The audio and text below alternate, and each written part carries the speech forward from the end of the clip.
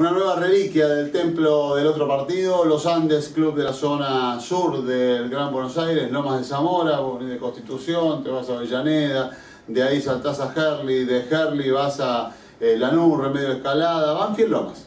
Ahí está Los Andes. Y un club tradicional de muchísimos años, le dicen las mil rayitas. Signia, marca que ahora tiene el grupo Botelli, pero que en su momento era de torneos, o sea, Ávila y la gente de Gatic bueno, Signia le hizo una camiseta muy particular a los Andes. Esta es la alternativa, también tengo acá en el top la, roja y blanca, pero acá se ve mucho más en detalle cuál era la estrategia.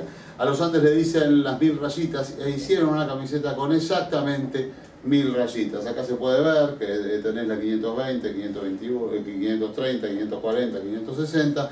Por acá está la 830, la 840, 850 uno da vueltas por toda la camiseta y están numeradas las mil rayitas de los Andes. Una cosa curiosa, pintoresca, que salía a la cancha en Lomas de Zamora para jugar en ese momento el torneo de la primera B, que todavía no era el Nacional B. Si te parece bien, una nueva historia ¿eh? que está vinculada con las, con las casacas aquí, en el templo del otro partido.